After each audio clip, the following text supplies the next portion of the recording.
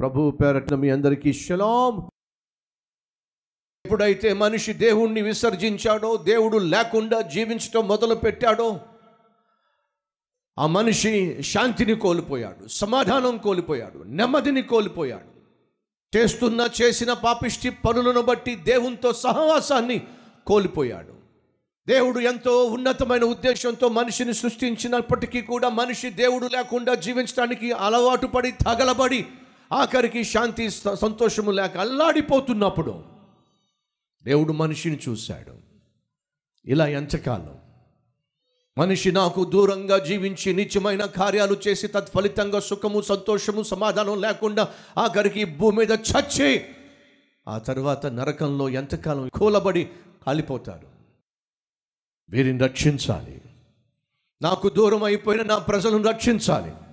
నాకు దూరం అయిపోయినటువంటి నా జల్ రక్షించాలి అని దేవుడు యోచించాడు తలంచాడు కాబట్టి యేసుక్రీస్తుగా రెండు వేల సంవత్సరాల క్రితము ఈ భూమి మీద ఆయన జన్మించాడు.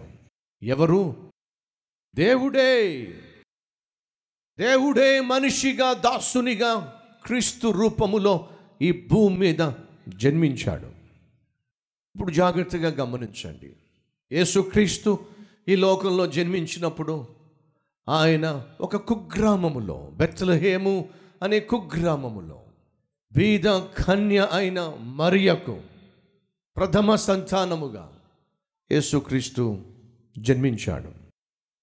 ముప్పై సంవత్సరాలు వడ్రంగి పని చేస్తూ తల్లికి అండగా నిలబడ్డాడు. తన కుమారునిగా బాధ్యతను స్వీకరించి బాధ్యతను వహించాడు. కేవలము మూడే మూడు సంవత్సరాలు యేసుక్రీస్తు బోధించాడు. సోక్రటీస్ నలభై సంవత్సరాలు బోధించాడు. ప్లాటో యాభై సంవత్సరాలు బోధించాడు. అరిస్టాటిల్ నలభై సంవత్సరాలు ఈ భూమి మీద ఫిలాసఫర్గా వేదాంత వ్యక్తిగా బోధనలు చేశారు. ప్రపంచంలో గొప్ప ఫిలాసఫర్స్గా పిలువబడినటువంటి సోక్రటీస్ అరిస్టాటిల్ ప్లాటో వీళ్ళందరూ కలిపి నూట ముప్పై సంవత్సరాలు ఈ భూమి మీద ప్రజలను ఉద్దేశించి ప్రజలకు కావలసిన బోధలు చేశారు. మహా గొప్ప ఫిలాసఫర్స్గా వారు పిలువబడ్డారు. కానీ గమనించండి యేసుక్రీస్తు మూడే మూడు సంవత్సరాలు ఈ భూమి మీద బోధించాడు. నూట ముప్పై సంవత్సరాలు అటు సోక్రటీస్ కావచ్చు అరిస్టాటిల్ కావచ్చు ప్లాటో కావచ్చు నూట ముప్పై సంవత్సరాలు వారు బోధించిన బోధల కంటే మూడే మూడు సంవత్సరాలు ప్రభు అయిన యేసుక్రీస్తు చేసిన బోధలు ప్రపంచాన్ని తలక్రిందులు చేసినాయి. ప్రపంచాన్ని ప్రభావితం చేసినాయి. ఎవరు ఈ యేసుక్రీస్తు? ఈ భూమి మీద యేసుక్రీస్తు జన్మించినప్పుడు దరిద్రునిగా జన్మించాడు. పశువుల పాకలో జన్మించాడు. ఈ భూమి మీద యేసుక్రీస్తు తల దాచుకోవడానికి కనీసం సొంతంగా ఒక గృహం కూడా లేదు.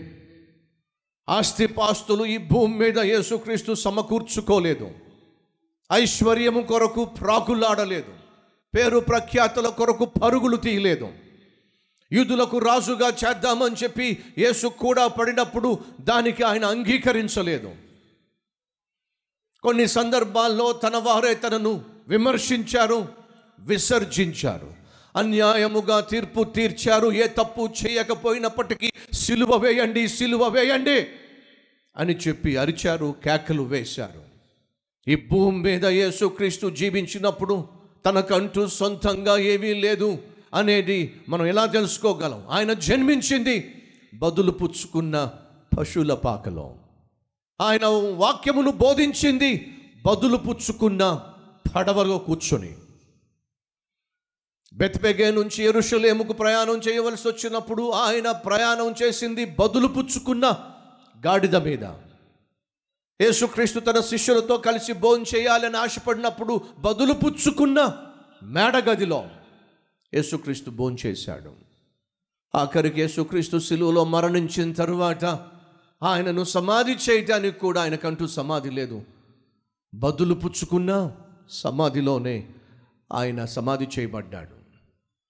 యేసుక్రీస్తు బహు దీనునిగా సాత్వికునిగా ఈ భూమి మీద జీవించాడు. కానీ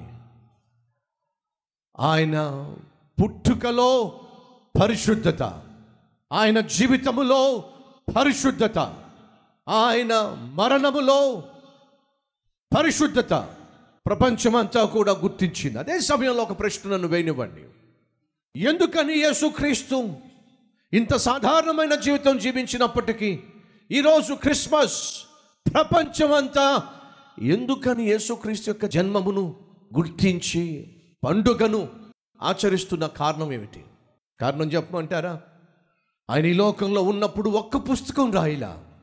కానీ ప్రపంచంలో ఆయనను గూర్చి లక్షల కొలిదిగా కోట్ల కొలిదిగా పుస్తకములు వ్రాయబడినాయి ఆయన ఒక్క పాట రాయల కానీ ఆయనను గూర్చి కొన్ని లక్షల పాటలు రాయబడినాయి.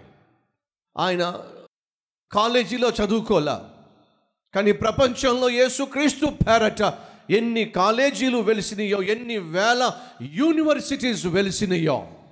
యేసుక్రీస్తు కేవలం పన్నెండు మందిని మాత్రమే శిష్యులుగా ఏర్పరచుకొని తన బోధలు తెలియచేస్తే ఆ పన్నెండు మంది వెళ్ళి యేసుక్రీస్తు అందించిన బోధలను ప్రచురము చేసినప్పుడు ఈ భూమి మీద ఈరోజు సుమారు మూడు వందల కోట్ల మంది యేసుక్రీస్తును దేవునిగా విశ్వసిస్తున్నారు వెంబడిస్తున్నారు. ఈ భూమి మీద బహుగా విశ్వసించబడుతున్న వ్యక్తి బహుగా నమ్ముకుంటున్న దేవుడు ఎవరైనా ఉన్నారు అంటే అది ప్రభు అయినా యేసుక్రీస్తే. పరిశుద్ధుడు అయిన తండ్రి ఎందరైతే నీ కుమారుణ్ణి అంగీకరించిరో వారందరికీ దేవుని కుమారులుగా కుమార్తెలుగా గొప్ప అధికారాన్ని ఇస్తానని సెలవిచ్చావు. ఈ క్రిస్మస్ నాడు ఎందరైతే క్రీస్తును గూర్చిన సందేశమును విని విశ్వసించి అయ్యో దేవుడు మా హృదయంలో ఉండవలసి ఉండగా మా జీవితాలను సైతానికి అప్పగించి మా బ్రతుకులను చీకటిమయం చేసుకున్నాం. ఇదిగో మా హృదయపు తలుపు తెరుస్తున్నాం. మా హృదయంలో అడుగుపెట్టి నేటి నుంచి నీ బిడ్డలుగా మేము జీవించుటకు నీకు సాక్షులుగా బ్రతుకుటకు మమ్మను కనికరించు నాయన. మా హృదయంలో అడుగుపెట్టు నాయన. మమ్మను నడిపించు నాయన. ప్రార్థన చేస్తున్నాం. ప్రతి ఒక్కరి హృదయంలో అడుగుపెట్టి మా జీవితాలను ప్రభు ధన్యకరముగాను దీవెనకరముగాను మార్చమని మలచమని ఏసునామం పేరట ఈ ప్రార్థన అర్పిస్తున్నాము తండ్రి. ఆమెన్.